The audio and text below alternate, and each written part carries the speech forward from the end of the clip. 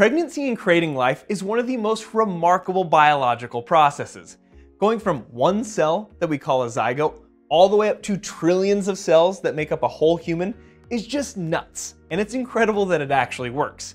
However, we do know that there are times where things can go wrong, and one of those times is with a certain type of pregnancy that can be life-threatening, and this is an ectopic pregnancy.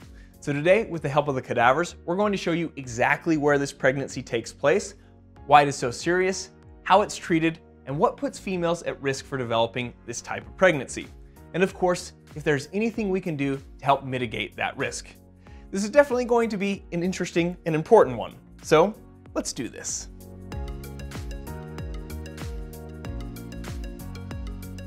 First, let's define the word ectopic. It comes from the Greek word ektopos, meaning out of place. In medicine, ectopic is often used to describe something that's in the wrong location. So an ectopic pregnancy literally means a pregnancy that's out of place. Now it's estimated that about 1 to 2% of pregnancies are ectopic. And while that might sound like a small number, it's a significant issue because ectopic pregnancies are one of the leading causes of maternal death during the first trimester. But again, why are they so dangerous?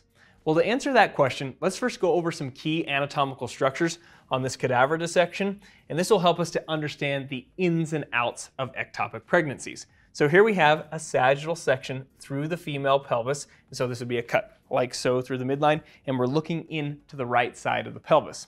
And here you can see the vaginal canal hooking up to the cervix of the uterus here.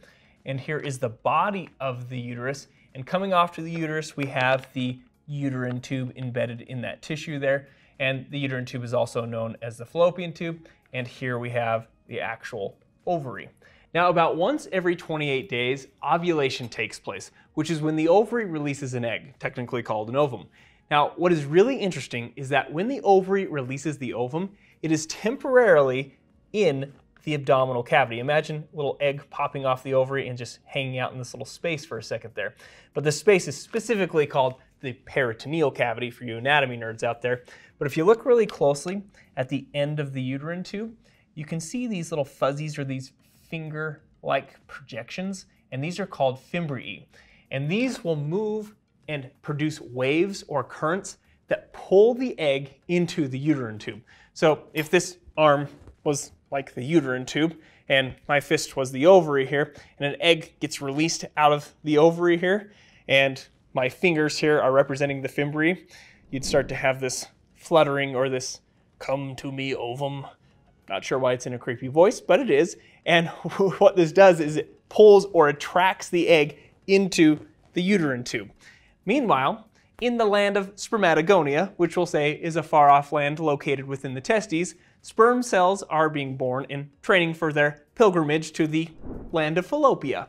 Because when sperm cells are released into the female reproductive tract during intercourse, they will move up the vaginal canal into the uterus and then into the actual uterine tube that I'm pinching here. And we already know that the uterine tube is also known as the fallopian tube or the land of fallopia from our little medieval analogy. And remember, what is in this tube from the first part of our story? A beautiful ovum.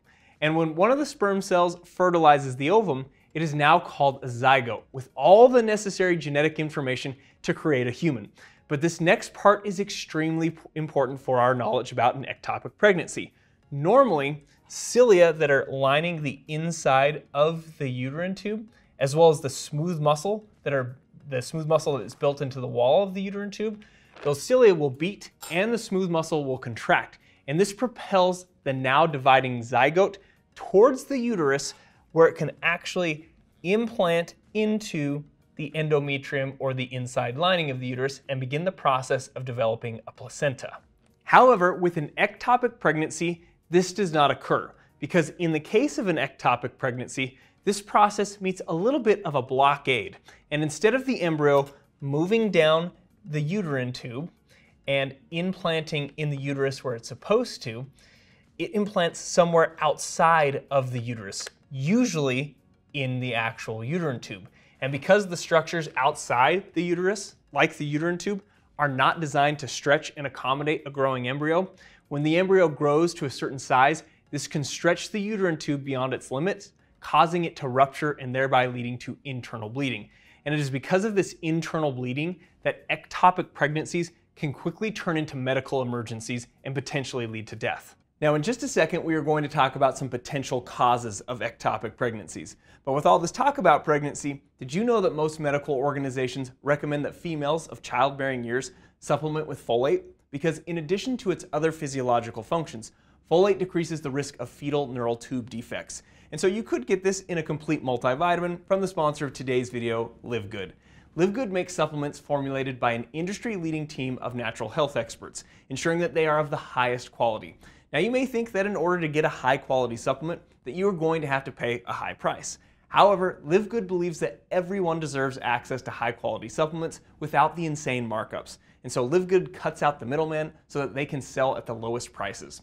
I personally take a handful of supplements. My absolute go-tos are creatine, whey protein, and what I call my daily vitamin insurance policy. I call it my insurance policy because sometimes I'm not always the best at getting all of my necessary vitamins through my diet. But like I said, these supplements are very high quality. For example, their whey protein is sourced from 100% grass-fed cattle and 100% sourced from sustainable US farms. And again, this is at a reasonable price.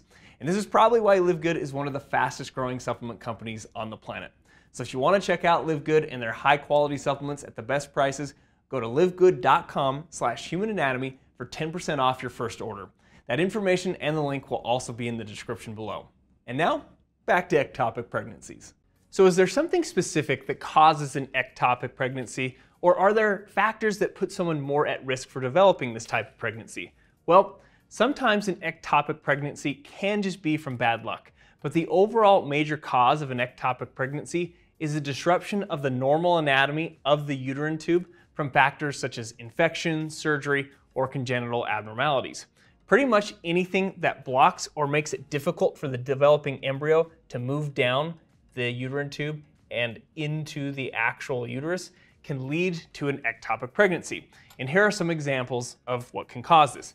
A condition known as pelvic inflammatory disease can cause scarring and damage to the uterine tube, making it more likely for the zygote to get stuck and implant in the uterine tube. Pelvic inflammatory disease results from infections like chlamydia or gonorrhea, and this is a major reason why a female preparing for pregnancy will often undergo STI testing.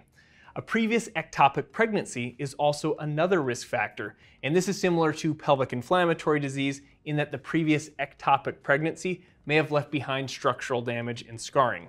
Another risk factor is tubal reconstructive surgery. Maybe you've heard of someone getting their tubes tied. This is technically referred to as a tubal ligation, where the surgeon separates the uterine tubes as a permanent type of birth control.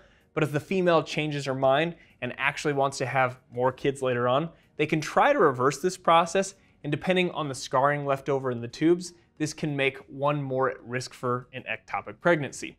Now, there are a handful of other risk factors that we could list, but the last one I want to mention is quite interesting.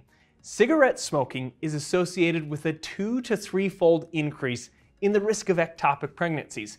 Now, how in the world would cigarette smoking increase one's risk of an ectopic pregnancy? Well, do you remember when I mentioned that the cilia lining the inside of the uterine tube helped the developing zygote move down from the uterine tube and into the uterus?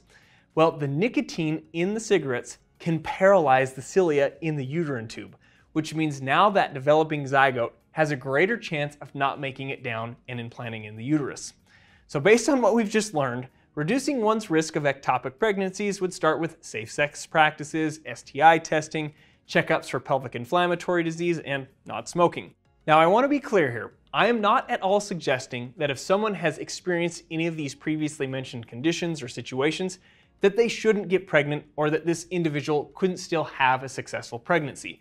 It just would help to know of the increased risk so that you could monitor the whole process of pregnancy a little bit more closely. But let's talk about the symptoms of an ectopic pregnancy and how they are treated. Initially, an ectopic pregnancy can feel like a normal pregnancy with symptoms like a missed period, breast tenderness, frequent urination, and even morning sickness. But as things progress, other abnormal symptoms start to arise, such as vaginal bleeding. The characteristics of the bleeding can vary greatly from light brown staining to hemorrhage, and the bleeding is usually intermittent. but may also occur as a single episode or could be continuous. And as the embryo enlarges, the uterine tube starts to stretch and distend, and this causes abdominal pain. And this pain can vary, but it is usually in the lower abdomen, starting as mild to moderate cramping on one side, and this can continue to progress to the point where the tube ruptures. And once the uterine tube ruptures, this can result in a sudden severe increase in the pain. And this is where things start to become even more serious because this rupturing results in internal bleeding. This can also result in additional symptoms such as shoulder pain, as this is a sign that the blood from the internal bleeding is actually reaching and irritating the diaphragm. Dizziness and fainting can also occur due to shock and blood loss. So clearly, this can be a bit scary if not treated. And obviously you would want to catch this before the uterine tube ruptures. So when diagnosing an ectopic pregnancy, medical providers rely on a combination of tests. A transvaginal ultrasound is the most useful imaging test for determining the location of the pregnancy. Another useful test is looking at the rise in gonadotropin releasing hormone, maybe you've heard of HCG before. With an ectopic pregnancy, the levels of HCG rise more slowly than they do in a normal pregnancy. And so doing repeated or serial HCG tests in combination with the transvaginal ultrasound, along with the history and physical exam of the patient, can help confirm the diagnosis. And if an ectopic pregnancy is confirmed, it unfortunately cannot continue safely. Treatment is essential to protect the health and life of the mother, and the options for treatment depend on multiple factors. But one of those factors is how early the ectopic pregnancy is diagnosed.